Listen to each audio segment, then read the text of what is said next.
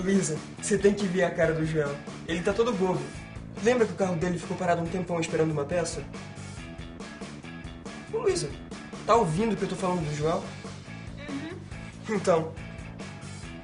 É, ele ganhou uma passagem pra Marte de foguete. Legal, né? Luísa, tá escutando o que eu tô dizendo?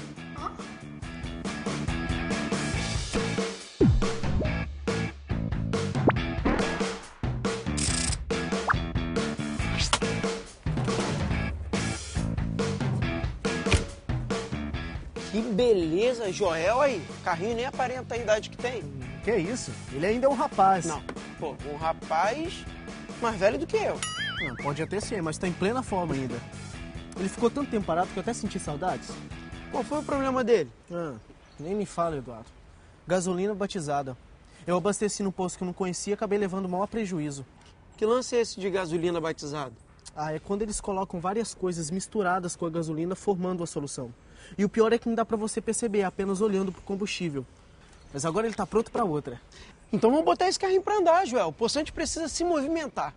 Pode ser. Pode ser? Então você espera aí que eu vou chamar o Bruno. É rapidinho. Tá legal. Então valeu. Vai lá. Sei que não é tão grave, Bruno. Mas meu primo é tão pequeno. É. Desidratação é uma coisa muito séria. Mas você mesma disse que ele já tava melhor. Ah, ele já tá bem. A minha tia tá dando um soro caseiro que o médico indicou. Ele já até tá mais animadinho. É. O soro caseiro é tão fácil de fazer. Uma colher de sopa de açúcar, uma colher de chá de sal, dissolvidos em um litro de água. Lembrei até da nossa pesquisa sobre solubilidade. Solubilidade, exatamente o que eu ia dizer pra vocês. Que isso, Eduardo? Pirou de vez? Não. Lembra que a gente fez uma pesquisa sobre solubilidade? Lembra daí? É, então, ficou faltando pesquisar algumas coisas. É, vocês lembram o que era? Eu lembro que ficou faltando a solução de dois sólidos. Isso. Eu até queria ir numa siderúrgica ver como funcionam essas soluções com dois sólidos. Mas todas que eu conheço são tão longe daqui. Eu conheço um profissional que pode nos ajudar. E sei como a gente vai chegar lá. Vem comigo, Bruno.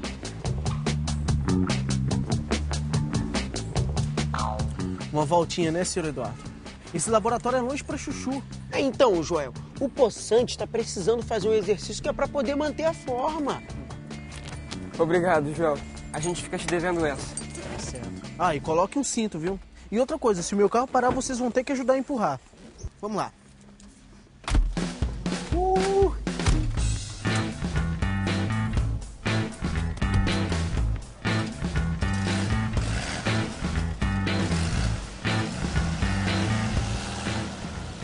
Vamos aproveitar para repassar a pesquisa que a gente já fez sobre solubilidade. Manda.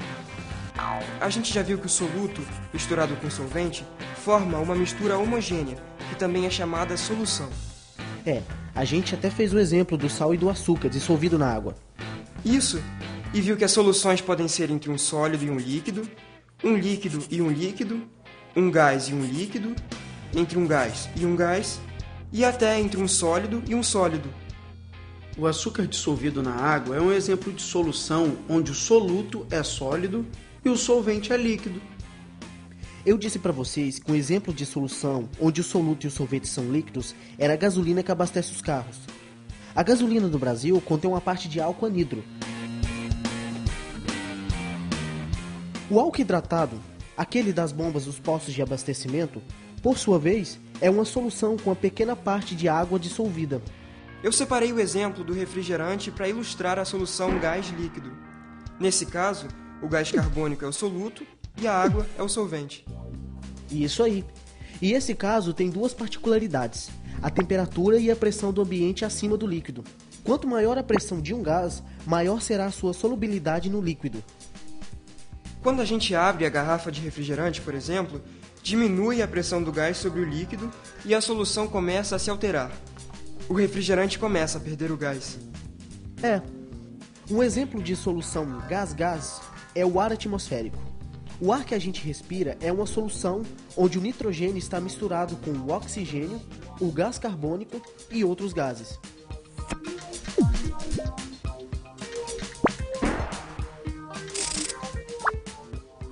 Falta um exemplo de solução sólido-sólido. Ué, a gente veio aqui para isso, Eduardo. A gente vai conversar com alguém sobre as soluções em que o soluto e o solvente são sólidos. Será que o Joel ficou chateado? carro dele foi esquentar logo no finalzinho da viagem. A gente fala com ele depois. Agora vamos ao que interessa.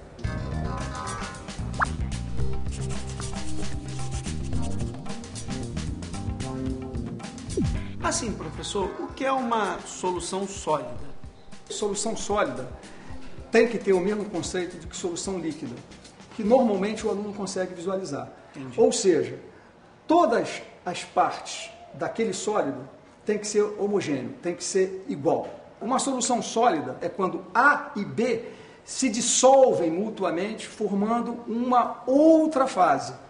Como os sólidos são é, estruturas cristalinas e você tem átomos ocupando posições é, determinadas, quando você tem átomos de outro elemento dentro da mesma estrutura cristalina, você tem uma solução sólida. E como é que a gente mistura esses elementos para fazer ligas metálicas? Para você fazer uma, uma liga, você precisa permitir que haja a difusão de um átomo dentro da estrutura cristalina do outro. Como é que você consegue isso? A maneira clássica é um forno de fusão. Então você funde os elementos, eles vão para o estado líquido, eles se solubilizam um no outro, no estado líquido, e você depois solidifica. Ao solidificar, eles vão ocupando posições na estrutura cristalina devidamente e vão formar as soluções sólidas e os eventuais precipitados.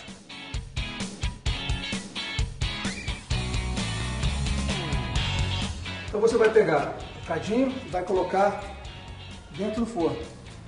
As ligas de estanho com chumbo se fundem numa temperatura relativamente baixa, 200 graus. Outras ligas se fundem acima de 1500 graus. Então, dentro daquele, daquele recipiente, você coloca os metais com a composição desejada. E no dia a dia, qual a aplicação prática disso tudo? Uma liga, por exemplo, que tenha é, cobre e 30% de níquel, ela tem um determinado tipo de resistência que faz com que eles sejam utilizados em tanques para a indústria química.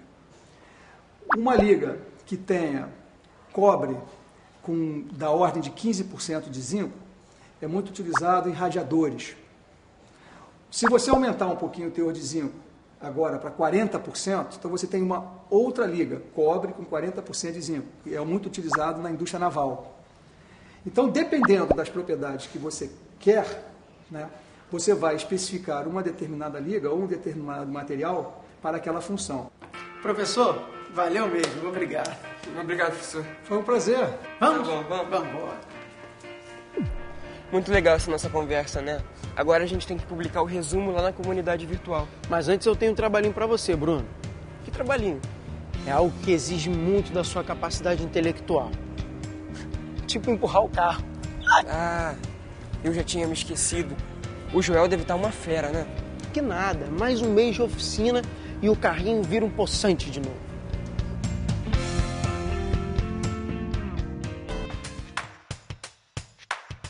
Hoje, pesquisamos mais sobre a solubilidade e descobrimos que as soluções podem ser entre um sólido e um líquido, um líquido e um líquido, um gás e um líquido, entre um gás e um gás e até entre um sólido e um sólido.